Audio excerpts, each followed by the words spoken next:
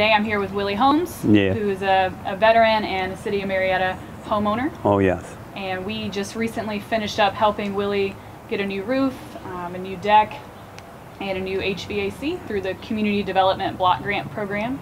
Willie, if you can just tell us a little bit about how this rehab has helped you and your family. Oh, yes. It's been a big blessing to me and my family because we was out of, didn't have air conditioning, AC, put a new AC in, new roof.